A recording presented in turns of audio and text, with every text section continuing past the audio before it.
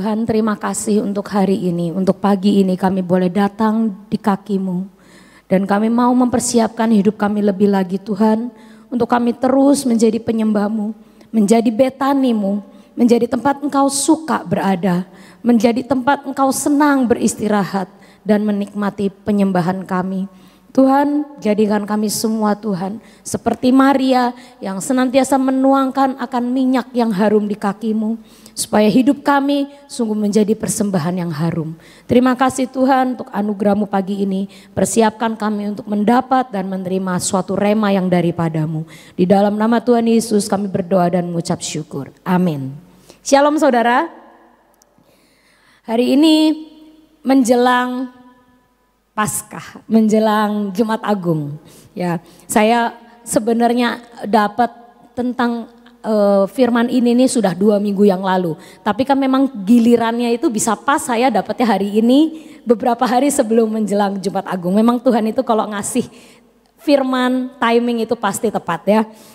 Jadi saya waktu dua minggu lalu kira-kira Tuhan itu tiba-tiba dalam saat teduh saya malam Tuhan berkata nak nanti kamu next di PW. Saya tuh nggak inget saya tuh PW-nya tuh masih dua minggu lagi ya. Jadi waktu itu saya pikir ah kapan sih saya tugas PW gitu. Ternyata memang deket dengan Jumat Agung. Nah kamu nanti kalau tugas PW next ya khotbah, kamu bicarakan tentang pembasuhan kaki gitu. Jadi saya waktu itu mulai menggali tentang pembasuhan kaki ini. Dan hari ini saya sangat diberkati dan saya harap ini menjadi tema dan rema buat kita dalam menghadapi akan Jumat Agung ini ya. Oke, e, pembasuhan kaki ini apa saudara? Ya saudara pasti tahu ya, gambar di sini walaupun gambarnya tidak ada muka orang yang jelas, tapi saudara pasti tahu itu tentang apa? Tentang Yesus yang membasuh kaki murid-muridnya. Dan itu terjadinya kapan? Tepat sebelum Tuhan Yesus akhirnya mati di salib, ya kan? Ini adalah kejadian terakhir-terakhir sebelum Tuhan Yesus disalib. Nah, pembasuhan kaki itu sebenarnya apa, Saudara? Pembasuhan kaki itu adalah tradisi orang Yahudi untuk membasuh kaki mereka sebelum masuk ke suatu rumah atau sebelum masuk ke suatu tempat. Karena apa? Orang Yahudi itu selalu pakai sendal. Zaman dulu tuh belum ada sepatu. Saudara tahu sendal orang Yahudi itu biasanya cuman telapakan seperti kulit itu, lalu ada talinya. Ya, ada talinya. Jadi bukan sendal jepit Saudara. Waktu zaman dulu belum ada istilah sendal jepit. Jadi sendal tali ya. Sendal telapakan eh, tapakan eh, kulit ya, datar, lalu ada tali-tali dan diikatkan ke kaki. Nah jadi semua orang itu memakai sendal seperti itu ke mana-mana mereka pergi. Dan zaman dulu juga belum ada kendaraan. Ya, yang pakai kuda itu hanya tentara. Ya, jadi otomatis orang lain ngapain? Berjalan kaki. Dan setiap hari mereka itu pasti menemui yang namanya debu di jalan, apalagi di Israel ya, kalau yang sudah pernah ke sana panas dan berdebu ya saudara ya. Lain sama eh, negara-negara uh, yang bersih karena mereka itu kan padang gurun. Jadi pasir debu itu selalu ada di mana-mana. Jadi setiap kali orang jalan, otomatis kakinya kotor. Ya, mereka masuk satu rumah harus lepas sepatunya. Ya, karena apa? Kalau enggak rumahnya nanti kotor semua saat mereka masuk. Jadi mereka akan melepas sendal mereka yang berdebu itu di luar. Lalu mereka masuk, sebelum mereka masuk kakinya dicuci dulu. Ya, makanya waktu itu ada mujizat apa? Air menjadi anggur, itu yang dipakai airnya itu air buat cuci kaki. Ya. Jadi sebenarnya tradisi Yahudi membersihkan kaki dari debu sebelum masuk ke rumah itu biasa dilakukan oleh siapa? Biasanya ada pelayan atau budak perempuan yang akan membawa bejana pembasuhan dan lap. Ya, lalu orang itu akan orang-orang itu akan naruh sendalnya, lalu mereka sebelum masuk si budak perempuan ini akan menyiram akan kaki mereka dan mengelap sampai kering lalu akhirnya tamu-tamunya masuk. Itu hanya boleh dilakukan oleh budak perempuan. Sudah budak ya yang derajatnya paling rendah perempuan lagi, laki-laki nggak boleh ya. Jadi istilahnya itu adalah suatu sebenarnya uh, hal yang rendah ya, dilakukan oleh orang rendah. Ya. Tapi yang aneh di sini adalah ini adalah pesan Yesus yang terakhir sebelum dia mati di salib. Saudara kalau misalnya ada pesan penting dari orang yang mau mati, itu penting saudara. Ya enggak? Kalau misalnya ada orang di rumah sakit, udah napasnya udah Senin Kamis sudah udah megap-megap, dia nggak manggil anak-anaknya. Gak mungkin kan nanyain, kamu sudah beli tiket berlibur belum buat lebaran depan? Gak mungkin kan? saudara kalau ada orang setengah mau mati, mau meninggal, lalu ngundang anak-anaknya atau orang terdekatnya dan ngasih tahu sesuatu, itu penting apa enggak? Pasti penting sekali. Dan ini yang Yesus lakukan. Waktu dia mau mati di salib, inilah pesan terakhir yang Yesus kasih tahu ke murid-muridnya. Dan hari ini menjelang akan peringatan kematian Tuhan Yesus. Kita sekarang dikasih tahu sama Tuhan, ini loh pesan terakhirku. Dan hari ini kita akan menjadi orang-orang yang melaksanakan akan perintah terakhir dari Yesus. Oke, Lukas 22 ayat 24. Bahasa Inggrisnya.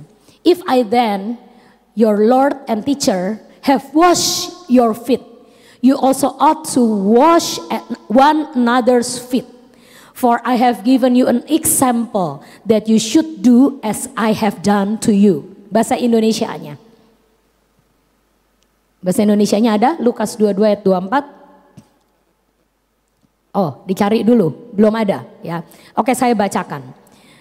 Jadi Tuhan berkata, "Jikalau aku ini membasuh kakimu, aku ini apa? Tuhan dan gurumu.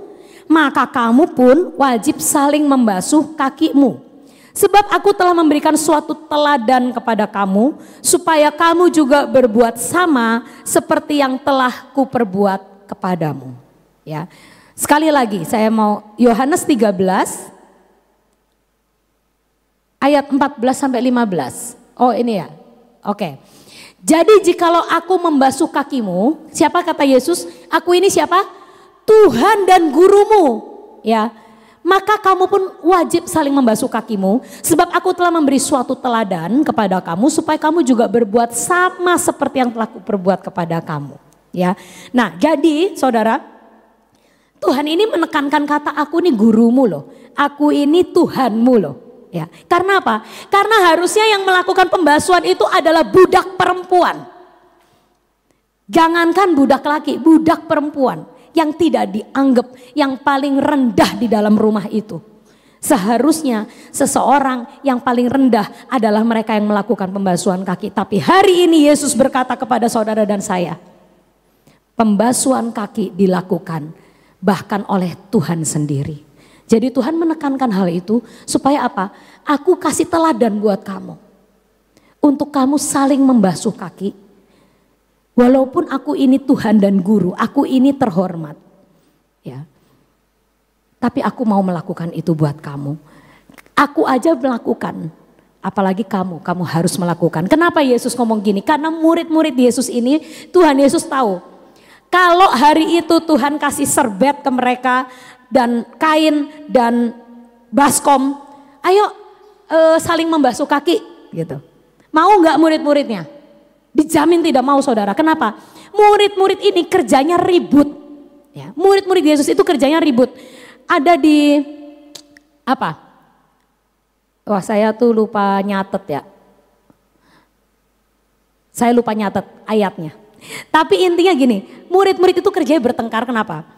Seringkali di tengah jalan tiba-tiba bertengkar terus Tuhan ngomong kamu ngeributin apa? Gitu ya. Kami meributkan siapa yang terbesar di antara kami. Nanti di surga pangkatnya paling tinggi siapa? Yang dapat jenderal bintang 4 siapa kira-kira di surga nanti? Yang bisa duduk di sebelahnya Tuhan siapa nanti di surga? Mereka tuh ngeributin hal-hal kayak gitu. Jadi Tuhan tuh tahu kalau ya Tuhan ngomong ayo saling basuh kaki dijamin gak pada mau. Mereka itu wong kerjanya udah tua-tua gitu masih ribut ngeributin siapa yang paling hebat.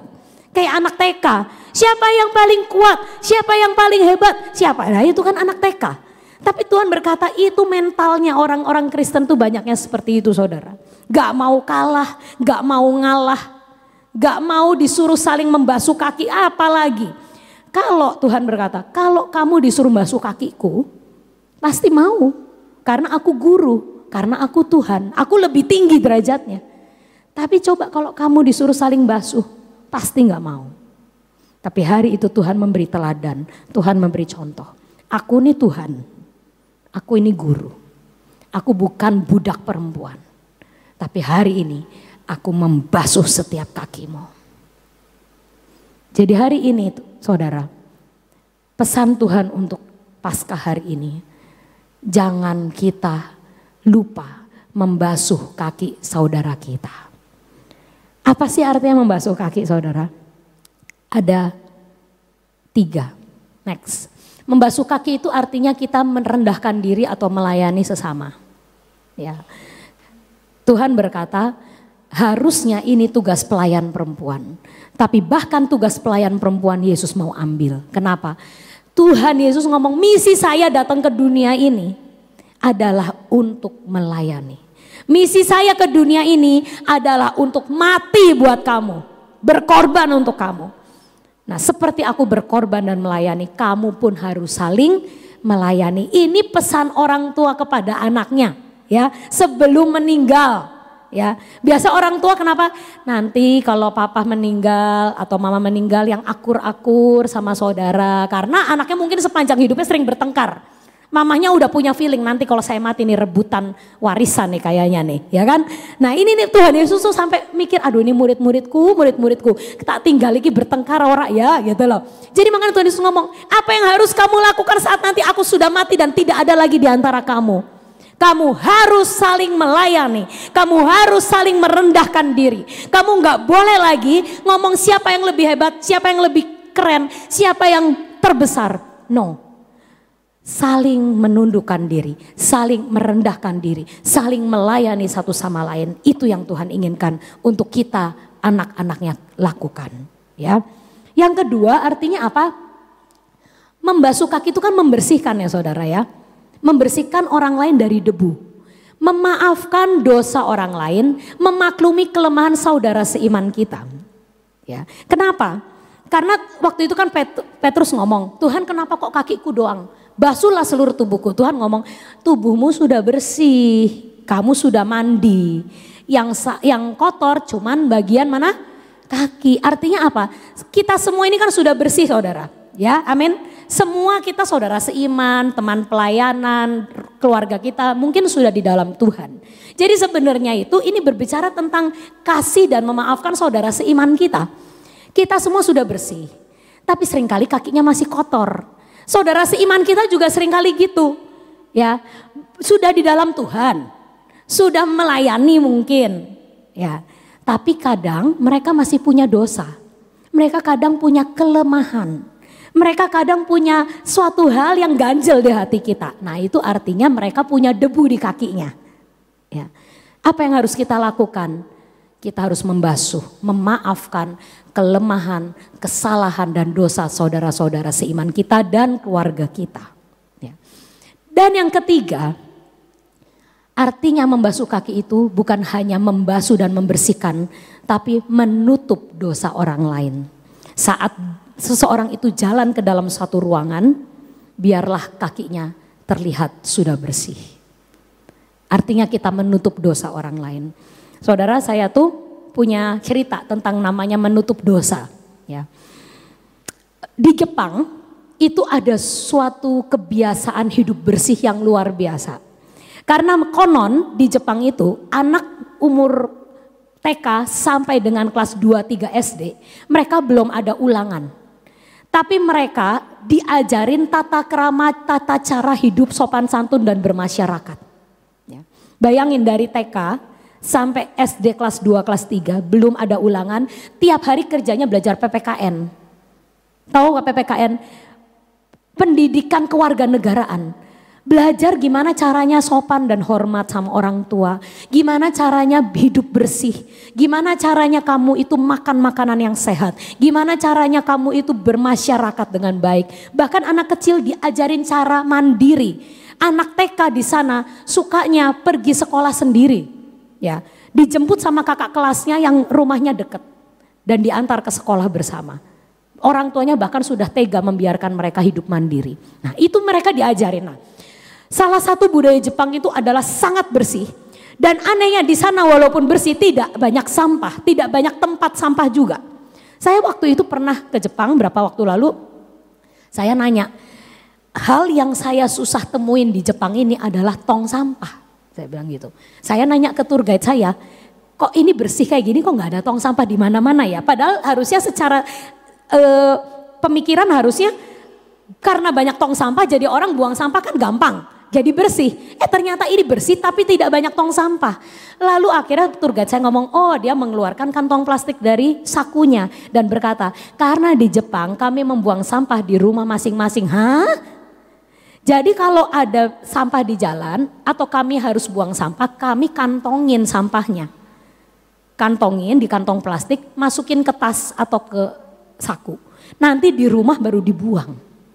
Nah, suatu hari ada seorang turis Indo. Dia ceritain ini di Reels. Ya. Saya itu pergi ke Jepang untuk pertama kali. Jadi dia itu tidak tahu budaya Jepang tentang kebersihan yang sangat ekstrim ini. Ya. Suatu hari saya merokok di tempat umum. Lalu saya buang rokok saya sembarangan di depan saya. Dan saya injak rokoknya. Tiba-tiba setelah saya mau pergi meninggalkan rokok saya itu. Ada seseorang Jepang datang ngambil putung rokok saya. Dan membersihkan abu di jalan. Kan dia kan nginjek kan, ya kan? Dia nginjek rokoknya, abunya kan ada tuh di jalan. Itu abunya juga dibersihin sama dia, rokok dan abunya dimasukkan sama dia ke kantong plastik, lalu dia kantongin. Dan dia sebelum pergi membungkuk sama saya. Lalu dia pergi. Malunya saya, malu banget dia bilang gitu. Lalu saya nanya ke tour guide saya, kenapa orang ini melakukan ini? Diceritain, saya tadi buang putung rokok. Saya injak. Orang itu datang bersihin sampah saya. Lalu tour guide-nya ketawa. Gak apa-apa pak, di Jepang Orang itu merasakan membersihkan sesuatu milik orang lain itu adalah ibadah. Itu adalah perbuatan baik dan dia akan mendapat imbalannya. Makanya dia bungkuk ke Bapak. Orang itu bungkuk loh terakhirnya. Kepada orang yang nyampah di depan dia itu. Karena orang itu merasa aku mendapat kesempatan untuk berbuat baik. Aku mendapat kesempatan untuk membersihkan dosa dan kesalahan orang lain. Maka aku akan mendapat pahalanya kelak. Karena itulah orang itu membungkuk kepada Bapak. Berterima kasih karena Bapak nyampah. Sehingga dia bisa bersihin. Dan dia tahu itu adalah suatu kebaikan yang akan dia tuai kelak. Saudara, orang Jepang itu bukan orang yang kenal Tuhan. Orang Jepang itu nyembahnya matahari kan kalau nggak salah Dewa Ra ya pokoknya dewa matahari lah, ya kan. Tapi mereka bisa mempraktekkan tuh apa yang Yesus suruh dan Yesus perintahkan, yang dia meneladani Yesus, mereka meneladani Yesus. Ya. Makanya kita ini sebagai orang-orang Kristen, kalau suatu hari memang kita harus memungut sampah dari saudara kita, katakan ini adalah suatu kebaikan yang Yesus ajarkan. Dan saya percaya kalau saya diberi kesempatan untuk melakukan ini, membersihkan dosa orang lain, menutupi dosa orang lain, membasuh kaki orang lain, mengampuni, memaklumi. Dan saya harus mengambil sampahnya. Saya akan mendapat suatu balasannya kelak. Karena ini yang Tuhan Yesus perintahkan. Ya kan? Nah, sebenarnya ada ada hal yang udah pasti kita terima kalau kita mengampuni orang lain saudara. Ya, Yang pertama, apa manfaat pengampunan? Ini adalah suatu yang pasti kita dapat karena ini firman ya. Manfaat pengampunan adalah kita harus mengampuni agar diampuni. Ya, Tuhan berkata, karena jikalau kamu mengampuni kesalahan orang, Bapamu yang di surga juga akan mengampuni kamu. Tapi jikalau kamu nggak ngampunin orang, Bapamu juga tidak akan mengampuni kesalahanmu. Jadi hal pertama, keuntungan pertama di saat kita mengampuni orang lain, kita menutup dosanya, kita membersihkan kakinya, adalah kita juga akan diperlakukan sama. kita akan diampuni. Karena saudara, kalau orang lain kakinya kotor, jangan sangka kita kakinya bersih. Kita pun kakinya kotor. Tapi Bapak di surga akan mengampuni kekotoran kita dan membasuh kaki kita juga. Ya, Manfaat yang kedua apa sih kalau mengampuni? Agar kita bisa bahagia dan sehat. Saya pernah berkata kepada seseorang yang susah mengampuni orang lain. Dia sama mertuanya dendam. Dia sama mertuanya, mertuaku kok jahat ya sama aku, nggak pernah nganggap aku anaknya. Gitulah istilahnya ya. Saya bilang, eh kamu kalau mau ngampunin mertua kamu, kamu mikirnya gini. Jangan mikirin perbuatan jahatnya dia. Tapi pikirkan dirimu sendiri. Saudara tahu kalau orang mengampuni itu sebenarnya yang yang untung tuh dirinya sendiri. Ya. Saya baca satu artikel ya, ini bukan artikel Kristen ya, ini artikel biasa ya. Menyimpan emosi negatif mempengaruhi kesehatan mental dan fisik. Ya, ini mencakup resiko penyakit jantung, insomnia alias kurang tidur, gangguan kecemasan. Mengampuni bukan hanya untuk mereka yang berbuat salah, tapi untuk kesejahteraan kita sendiri. Ini bukan artikel Kristen, ya. Ini saya kutip dari artikel biasa kesehatan. Emosi negatif, kalau kita nggak bisa ngampunin orang kan hati kita panas. Kalau kita dendam, kesel sama seseorang, otomatis emosi kita negatif. Itu mempengaruhi kesehatan kita, mempengaruhi akan uh, kesejahteraan kita. Jantung kita jadi nggak beres, tidur susah, makan susah, bahagia juga enggak. Dan next ya, saya juga membaca tentang hormon apa yang keluar saat kita itu bahagia. Serotonin keluar saat kita bersyukur dan positive thinking. Oksitosin keluar saat kita punya hubungan baik dengan sesama. Jadi saudara, Tuhan berkata, ayo basuh kaki sesamamu, ayo saling merendahkan diri, jangan bertengkar. Ayo jangan saling menuduh dan menyalahkan. Ayo tutupi dosa yang lain, hidup damai. Itu tujuannya apa Tuhan ngomong? Untuk diri kita sendiri. Untuk diri saudara dan saya. Kebahagiaannya bukan dinikmati oleh orang yang kita ampuni, tapi kebahagiaannya dinikmati oleh kita. Jadi hari ini ingat-ingat Siapa yang mungkin masih mengganjal di hatimu? Apakah mertuamu? Ini berlaku untuk orang-orang yang lagi streaming juga ya. Ayo hari ini kita semua berbenah diri. Tuhan ingin anak-anaknya menjelang Jumat Agung ini saling membasuh kaki. Kita harus mengampuni kesalahan orang terdekat kita. Kita harus mengasihi dan menutup dosa-dosanya. Kenapa? Kok enak di dia? Bukan enak di dia.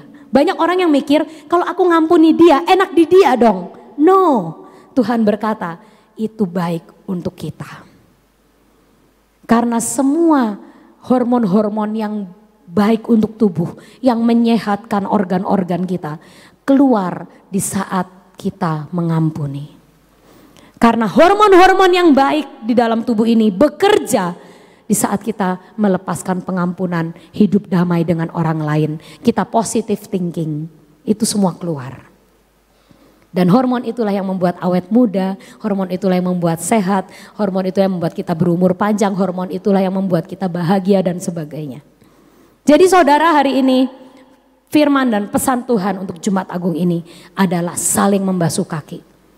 Kalau hari ini engkau merasa di dalam rumahmu, di rumah tanggamu, ada ganjelan sama seseorang, basuh kakinya sebelum Jumat Agung.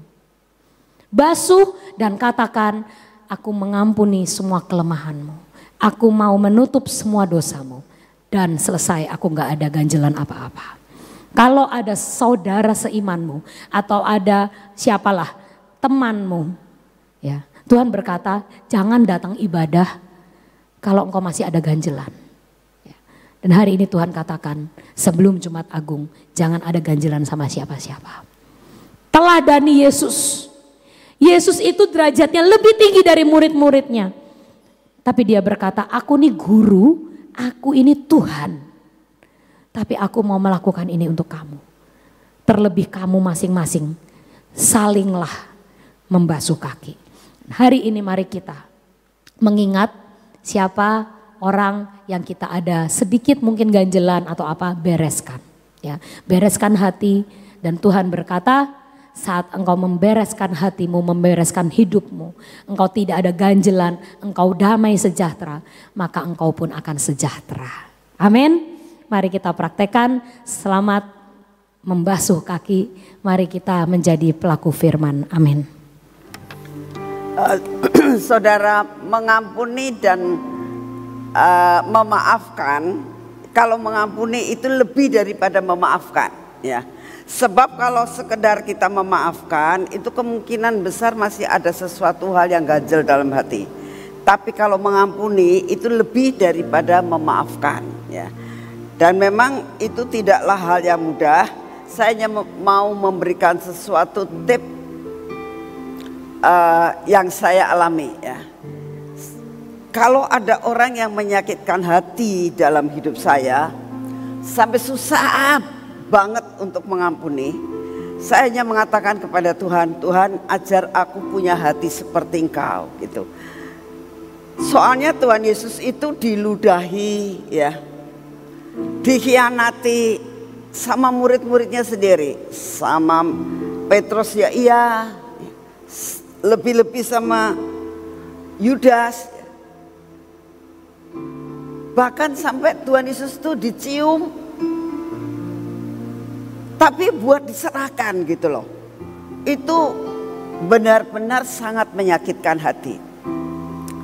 Tapi Tuhan Yesus itu benar-benar mau nerima Petrus kembali ya. Sebenarnya ini andai kata ceritanya di dalam Alkitab itu ya. Andai kata dalam tanda kutip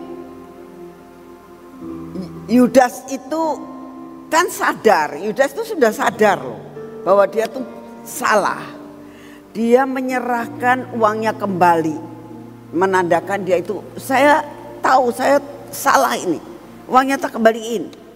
Kan imam-imam tidak mau. Andai kata setelah itu dia itu tidak malu dan dia kembali kepada murid-muridnya kumpul lagi ya. Terus Begitu tiga hari dia datang kepada Tuhan Yesus dan minta ampun, minta ampun. Ini andai kata ya. Kemungkinan tidak seperti cerita yang yang kita dengar dari Alkitab. Petrus dia menyangkal Tuhan. Siapa yang tahu pada saat dia menyangkal Tuhan? Yohanes. Yohanes itu tahu persis karena dia waktu itu sama-sama Petrus. Jadi Yohanes itu tahu persis bahwa Petrus itu nyangkal Tuhan tuh Yohanes tahu. Tapi di dalam Alkitab dikatakan Petrus itu balik dan sama-sama Yohanes lagi. Gak malu dianya untuk mengakui bahwa dia salah. Dan Yohanes pun mau menerima dia kembali. Gak ngomong gini, ih kamu tuh ya nyangkal guru saya enggak tetap bisa mengerti. Ya. Jadi kita harus tahu sekalipun kita tahu bahwa banyak hal yang kita alami, banyak hal kita susah untuk menyakit disakiti dan kita minta maaf, uh, minta ampun kepada Tuhan. Tuhan ampuni aku kalau aku kurang bisa dan belum bisa mengampuni. Ingat selalu dalam benak kita Yesus melakukan itu dan saya adalah muridnya. Saya akan dimampukan untuk saya dapat mengampuni orang lain. Kita berdoa saat ini untuk benar-benar mengoreksi hidup kita dalam menghadapi akan Jumat Agung pada tanggal Jumat ini. Mari kita berdoa. Bapak Dua hari lagi kami akan masuk dalam Jumat Agung Tuhan. Memperingati bahwa Engkau sudah melakukan perkara-perkara menjadi contoh untuk kami. Engkau koreksi akan hidup kami ya Tuhan. Supaya kami boleh berada dalam jalur yang benar. Beres di hadapanmu supaya tidak ada penghalang dalam hidup kami untuk dapat mengenal Engkau lebih dalam lagi. Terima kasih untuk kasih setiamu. Bapak saat ini kami datang di hadapan Tuhan. Kami sungguh-sungguh mohon perlindungan yang daripadamu ke mana pun kami pergi Tuhan. Karena hari-hari di hadapan kami adalah hari-hari yang jahat. Perlindungan yang daripadamu turunkan atas hidup kami. Terima kasih untuk semuanya. Bapak saat ini juga kami datang di hadapanmu. Kami mau berdoa buat bangsa dan negara kami Tuhan. Engkau sendiri yang akan terus beracara buat bangsa dan negara kami. Biarlah dalam masa-masa puasa daripada saudara-saudara sepupu kami. Keamanan tetap terjadi damai sejahtera tetap terjadi. Pemberesan terjadi Tuhan, saling mengampuni terjadi Tuhan. Roh ketidakpuasan engkau sediakan menyingkirkan. Berikan hikmat pemikiran yang jelas. Semua yang dilakukan jangan sampai menghancurkan bangsa ini. Biarlah bangsa ini yang merupakan negara kesatuan Republik Indonesia benar-benar menjadi negara kesatuan. Terima kasih untuk semuanya. Bapak kami berdoa pada saat ini. Engkau sendiri yang terus memegang kendali atas bangsa ini Tuhan. Kami saat ini juga berdoa untuk semua bencana-bencana yang kau izinkan terjadi Biarlah bencana-bencana ini kau buat minimal Tuhan. Sehingga tidak akan membahayakan dan menghancurkan bangsa ini. Kami mohon perlindungan yang daripadamu. Keamanan menjadi milik kami. Terima kasih untuk semuanya. Kami juga minta daya tahan tubuh Tuhan. Karena perubahan hawa ini yang membuat kami selalu merasakan ada perkara-perkara yang mengganggu kesehatan kami. Kami berdoa saat ini, biarlah Engkau yang akan memberi kekuatan, memberi daya tahan tubuh untuk hidup kami. Kami terima daya tahan tubuh yang baru. Kami juga berdoa buat semua pergumulan daripada setiap anak-anakmu. Baik pergumulan sakit penyakit, pergumulan persoalan-persoalan ekonomi dan yang lain. Kami hanya minta anugerahmu turun atas hidup kami. Supaya perlindungan dan kesembuhan yang daripadamu turun atas kami. Jalan keluar kau berikan buat kami Tuhan. Terima kasih untuk kasih setiamu. Kami mengucap syukur karena kau juga amat sangat baik. Dalam nama Tuhan Yesus. Mari kita masuk dalam pengurapan.